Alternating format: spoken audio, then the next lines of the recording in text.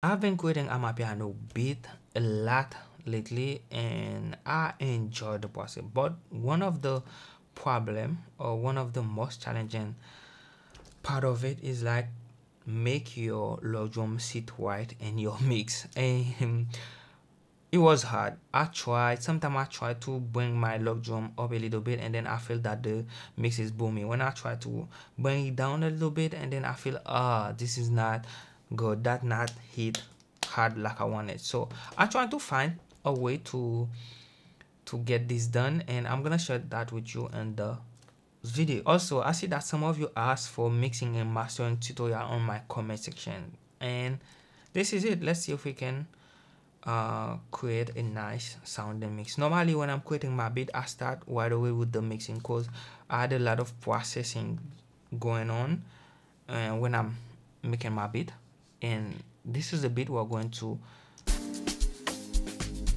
mix today. Let me go where we are at the loudest peak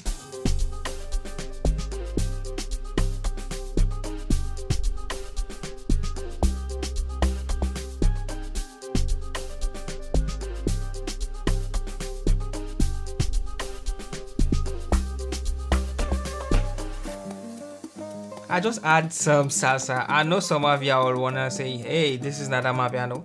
I know. But it is a vibe. And now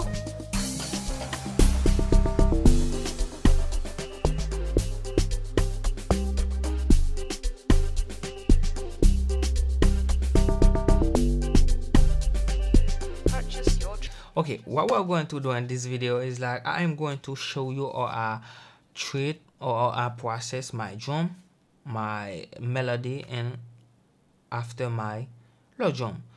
And this beat is definitely one of my favorite amapiano beats. I started on logic pro guys. And then when i wanted to get it done i said okay you know what? Let me export the stems and then let me get it done in fl studio. I love what i created so far in logic pro and i definitely think i love logic pro for tracking vocal mixing vocal and i don't like it to produce beat like to for beat making. I don't like logic for beat making. It is good though but it's not my thing. The first thing is to wire everything to your mixer. This is what i did. You can see that i have everything right here. One other thing i have this drum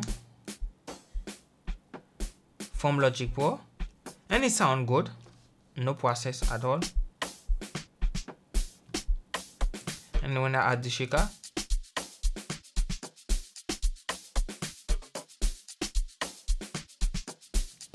You can see that my drums hit about minus 18 minus 18 and when I go and then try to add some melody. Let me show you the melody that I add. I think I have this I have my guitar.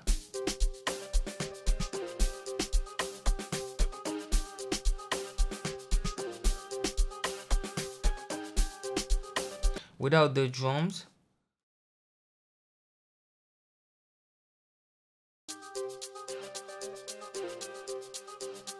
Guys those are just numbers.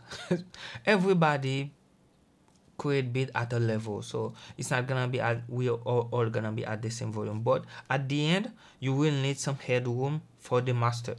So when i drag everything from logic i feel they need to bring down those a little bit.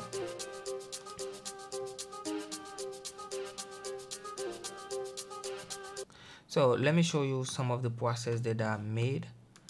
Uh, for example on that guitar right here normally you want your guitar to sound clean nice. The first thing is to remove the low frequencies frequencies that you don't want. And also you have bass you have log drum. You always need to leave space for those elements i remove those and I add the retro color. This gives you this uh, vintage vibe. And then with the wobble that's make it sound a little bit more realistic. And without it so if you exaggerate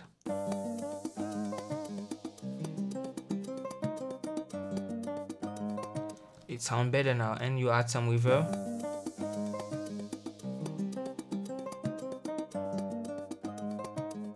At this moment that's what i feel that this guitar needed and i just added. When you're mixing don't try to be academic more academic. Just be creative. If you feel that this, this is the effect that i want to add to this sound to find this color just try it. If it's not good you can definitely go back to the initial vibe that you have. Always try to do what you think. There is not a good way of mixing a better way of mixing. Also i'm sorry for the background noise. It's my air conditioner. Guys it is so hot here. I cannot turn it off. So if i add my log drum and my drums let's see that we have them without the melody and now the log drum sorry.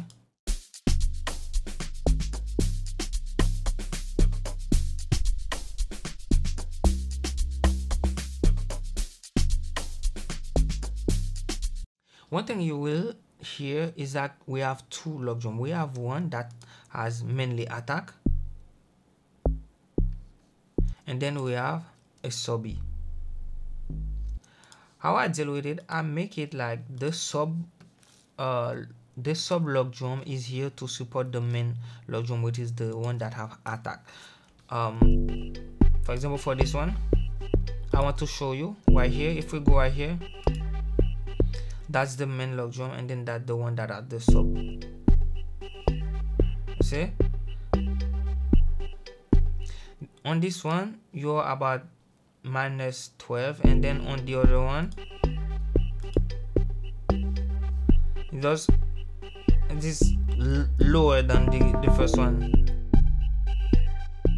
Guys i find that with this distortion plugin you have the perception that it sound louder. Okay let me try to make it clear for you let's say that you have the log drum signal without the wave shaper plugin and it is at minus 12 you listen to it and then you add the wave shaper and you try to make it go to minus 12 and then it is at the same level like minus 12 when you listen to those you compare them you see that the one that has man the wave shaper on it at the same level which is minus 12 sound louder than the one that doesn't have the wave shaper. This happened because of the harmonic that the wave shaper add to the signal. You know that the wave shaper is a distortion plugin. Normally, distortion plugin add more harmonic to your sound and then give the perception that it sound louder. This is how I made those log drum sit well in my mix. Also, you can add a limiter to make sure that you you don't go above this uh, minus 12 you can definitely add a limiter you say hey you don't go louder than minus 12 and you will have a lot of headroom later for the mastering let me show you real quick you see that means i have this right here i add a lot of headroom to master when i was listening to amapiano and doing my research i listened to tyler icu uh, DJ. There a lot of Amapiano songs that are trending right now. One thing that they all have in common is like the singer is the loudest uh, instrument on your mix. So I have you have the singer, you have the log drum, you have the drums, and then you have all the other element around those. But when I listen closely, it's like the log drum is not really loud you have the perception that is loud but it's not really loud because sometime when i listen to I, I i think i was listening to one of tyler icu song and then i say hmm maybe the log drum is at the same level at the as the vocals. But when i listen listen uh it's not at the same level. It's like you have the perception is it, it is at the same level. So this is how you can achieve to have those amapiano log drum that hit hard.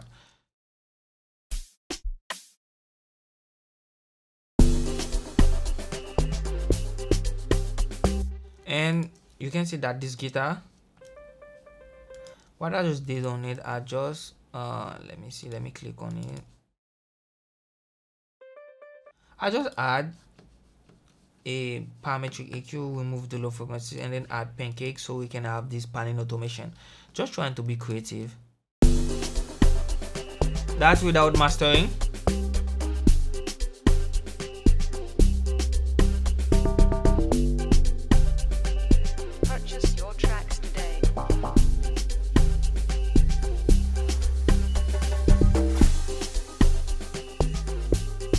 also you can see you, you listen to this melody.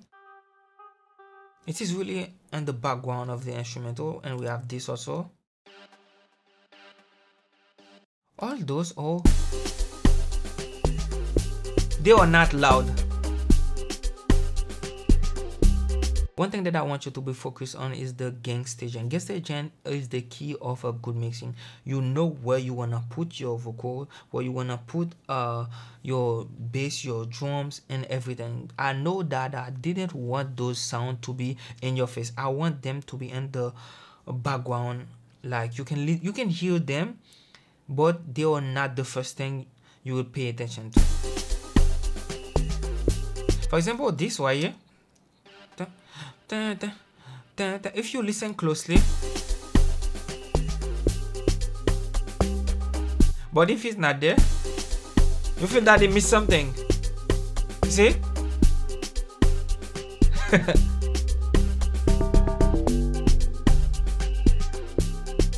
Those details are gonna make your bass sound different than other producer and try to achieve your sound. Don't even think about oh i need to mix my beat like Samy this is not the way to see it. You can use some of my technique and then you apply them see what you want if they can help you achieve the sound that you want because every producer need to have his own sound. It's not like i wanna sound like this producer i wanna sound like this. It's not like that. You need to have your own sound. If you guys have any question about mixing uh, just ask them in the comment section so i can answer them in another video. So this video is a little bit uh, different than what i used to do because you ask a lot about mixing and mastering for Amapiano. So here it is. and for my master, I didn't do too much on my master. I add this FL Studio Vintage Drive, SSL Fusion Vintage Drive.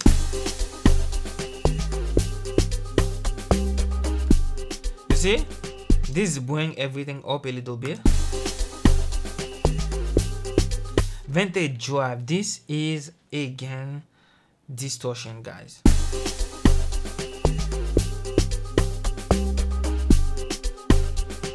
Without it you can use any distortion plugin that you have. Camel crusher has a really a clean british clean preset that is so crazy on the camel crusher. It sounds good too. You can use it. And i use maximus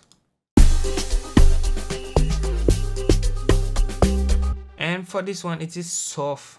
My knee this soft is the knee is soft. I don't do like hard compression on this one or hard limiter and then at the end i add the l1 ultra maximizer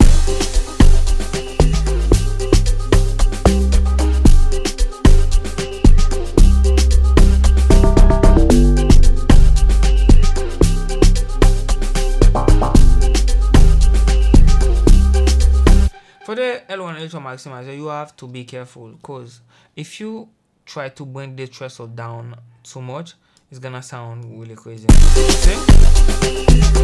You have to find the sweet spot. If you don't find the sweet spot, it's gonna sound crazy. See? See? I tried the soft clipper on this beat and I didn't like it. This is the reason why you can see that it's not active. I tried before using the l1 ultra maximizer. Like i told you try stuff and then if they work you keep it. If they don't work you don't keep it. You move to the next thing. Let me know in the comment section what is your biggest problem when you're trying to mix your instrumental. Even if afrobeat amapiano r&b any type of it. And i can make a video where i'm trying to answer your question and then try to find solution for y'all also guys let me know in the comment section if you want us to start with the uh beat review on sunday. If you are interested still interested on having a beat review we can also do that. Where you send beat over to me and then we go live on youtube and then we listen to those instrumental try to give feedback to the producer and i think it was fun when we were doing it and we can still do it. Let me know in the comment section. That's it for the video guys. Um, don't forget to go and then stream this instrumental. It is on my instrumental channel. It's gonna be linked in the description box. And yeah that's it. See you in the next one